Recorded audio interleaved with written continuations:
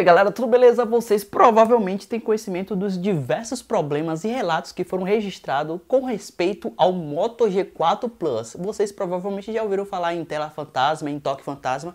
Então, muitos relatos foram registrados sobre esse dispositivo e muita gente tá super puto, porque uma porrada de gente teve que levar o dispositivo para assistência por causa desse problema. E muita gente ainda reclamando que o dispositivo voltou de lá com o mesmo problema. Outras pessoas já dizem que o aparelho ficou lá mais de 30 dias e ainda não conseguiu resolver o problema. Inclusive, eu participo de uma comunidade no Facebook um grupo que é direcionado ao Moto G4 Plus e o Moto G5 Plus. Então muita gente lá só publica coisa relacionada ao Moto G4 Plus. E o engraçado é que a maioria dos posts tudo lá é de problema com o Moto G4 Plus.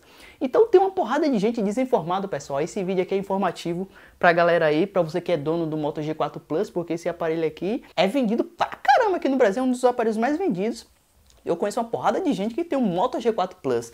Então eu quero alertar aqui para a galera que está sofrendo desses problemas, porque esse aparelho é campeão de reclamação. Não é só o toque fantasma e o problema de tela fantasma que tem perseguido o modelo. Tem outros problemas com reinicializações, muita gente reclamando de erro na câmera. É... O que mais, velho? Tem uma porrada de problemas aí. Vocês podem citar aí nos comentários para me ajudar, porque foram diversos problemas e eu tenho uns três artigos no site só falando de problemas no Moto G4 Plus. Então eu quero alertar aqui a galera que muita gente que está passando por essa situação, que veio com o dispositivo com o mesmo problema e está tendo que voltar de novo na autorizada, ou pessoas que tiveram seu aparelho lá na autorizada e passou do prazo de 30 dias, que é por lei, passou de 30 dias, meu amigo, você tem direito a outro. Você vai no Procon e, registra uma queixa lá que você vai ter direito a um outro dispositivo do, da mesma linha ou até um superior se você quiser. Então estou alertando aqui, se você passou por essa situação ou conhece algum amigo que passou por essa situação e teve que levar o dispositivo na assistência, você pode ganhar um Moto Z Play ao invés do Moto G4 Plus, porque você provavelmente ficou frustrado com o Moto G4 Plus e você não vai querer um outro para passar pela mesma situação. Então você vai querer um outro dispositivo um pouco melhor que esse. Então, Moto Z Play. Mas quero deixar claro também para vocês que não é simplesmente assim, se o aparelho está com problema, você vai ganhar um Moto Z Play. Você tem que passar por essa situação. Se o aparelho passou dos 30 dias não autorizada ou se ele veio de lá com o mesmo problema, e aí você pode registrar uma queixa na, no Procon, né, para para forçar a Motorola a te dar um dispositivo novo, ao invés de você ficar passando por essa situação. Eu tenho aqui alguns relatos escritos aqui do pessoal que tinha um Moto G4 Plus e foi substituído pelo Moto Z Play. Olha aqui, o Fernando Souza lá do grupo Moto G4 Plus e Moto G5 Plus, o link está na descrição do vídeo.